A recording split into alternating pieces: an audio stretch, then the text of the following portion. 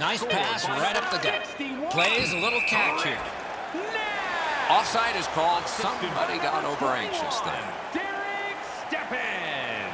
And by number 27, Ryan McDonagh. Time of the goal, 19 minutes, 53 seconds.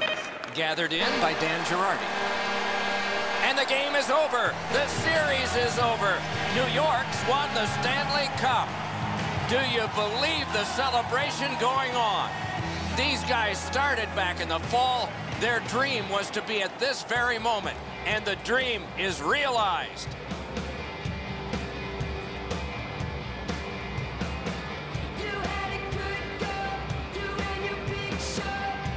A traditional congratulations of a handshake goes back five centuries in humanity. But for hockey, it's become one of the most prized moments congratulating those who have gone so far. The man chosen playoff MVP gets the Conn Smythe Trophy. Boy, is this ever well deserved.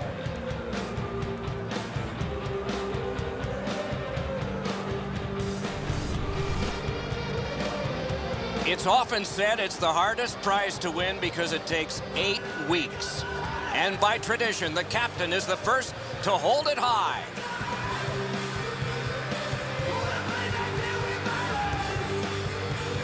And there's always a pecking order as to how it gets handed off, and that's all a part of Stanley Cup lore. You can only imagine how much soreness you fight through in a collision sport. Guys have lifted this cup with dislocated shoulders after hernia surgeries just two days before. Doesn't matter. It's over 30 pounds. They find a way.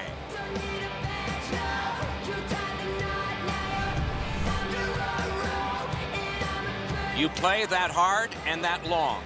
You get your names on a trophy, rings on your fingers, and one last photograph, evidence of it all.